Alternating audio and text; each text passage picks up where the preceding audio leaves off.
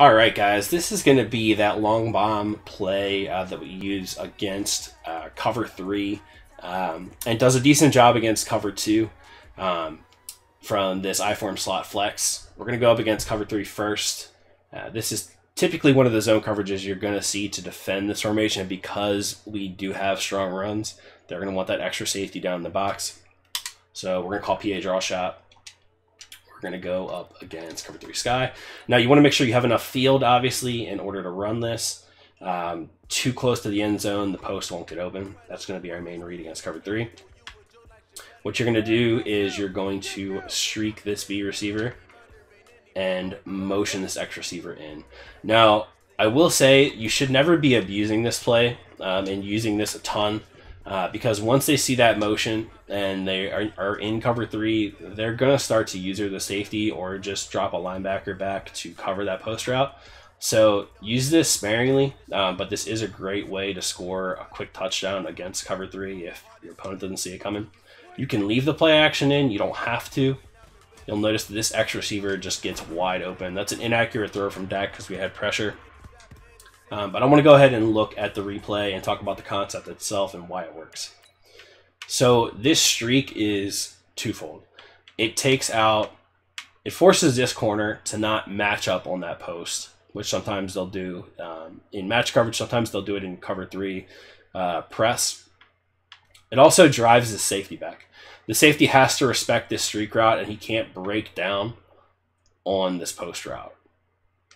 Now, the corner route on the right side of the field, the tight end does a really good job at keeping Stephon Gilmore underneath. Because it's a deeper corner route, this corner has to somewhat respect this and play it, leaving this giant gap in this right third of the field. So we're going to run this again. We're actually going to complete this pass. I'm going to take this play action out. You just have to block the halfback for that. Now, what I will say, too, is you don't always have to block both of these guys. If you notice that the guy is dropping back a lot with his linebacker, he's a pretty good user, then just put like an option route or a curl route out there or something to where that linebacker has vacated that spot. What I mean by that is if he's using this linebacker and he's dropping back deep, then this little hole right here where he used to be will be open. But you don't have to do that. We're going to go ahead and put this back on the D line. I'm going to block my halfback.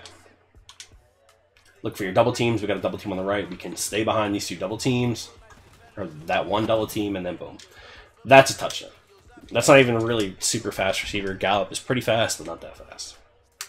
That's going to work every single time against cover three, whether they pass commit, press, all that stuff, because the route combinations are there. Now, cover two. Cover two is a little bit of a tricky story bombing deep, unless you're going to go ahead and throw to um, the outside receiver on like the wide side of the field. So say we are like this on this right hash. You're going up against cover two. Just know that this is pretty much from any set. This is kind of just like any tip um, for, for any passing play.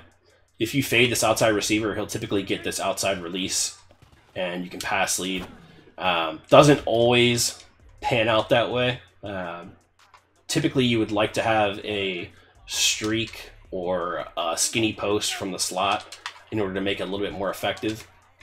Well, that's kind of a moot point. Let's go ahead and move this back inside. Just know that you do have the fade sometimes, especially if they are playing hard flats. Uh, you will get the fade on the sideline. Uh, baseline. All right, so basically with this, you can just leave this stock. You can put a hitch. If you get this type of look right here, you can put a hitch because it looks like a blitz. You can put a drag. Uh, I would never put an out route because that's pretty much going to be locked if it's cover two and they play hard flats. So hitch or drag. I prefer the drag. Snap of the ball. As X breaks over the middle of the field, that's the perfect animation. When they get that dive animation, you cannot interrupt it. So that's pretty much going to be cake every single time. What you can also do is I don't like streaking this B receiver. What I will do if I know it's cover two and I know that they're playing coverage, you can wheel the halfback like we have been doing for uh, a few of these other plays. and find your double teams. Once the safety, or once he gets in between those safeties, uh, you throw that ball and it'll pretty much be open. Um, I would not wait for the halfback wheel route to get open if there are cloud flats. If there's cloud flats, it takes way too long. You're going to have to roll out. And by the time he clears this cloud flat, the safety will have recovered and gotten over here um, to make a break on the ball. That's why this is our main route. Pass lead that inside. You'll see that this other safety is now out wide defending this corner route. Um, they play really strangely in cover two with the the uh, deep halves. So we're pretty much eliminating this whole side of the field from defending this deep middle.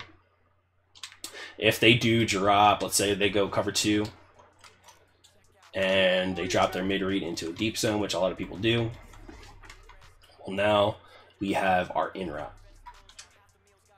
Snap of the ball. Our in route. Ooh, that's brutal. Sometimes they'll man up on that. Let's go ahead and do that again one more time. This time we're going to wheel our halfback and not allow them to man up on that in. Boom, you have the in. It's pretty easy stuff. Like I said, these route concepts are pretty basic. Uh, all you have to do is get in the lab, check the timing, um, run it against different coverages, check the pass leads.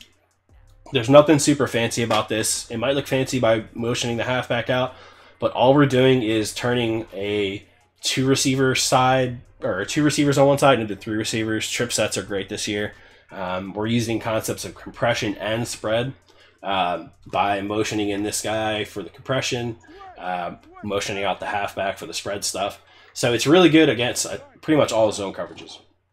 Now, the very last video, we're going to take a look at what to do against man coverage um, because man coverage is really, really popular this year, and you have to be able to beat man if you're going to be successful passing the ball online.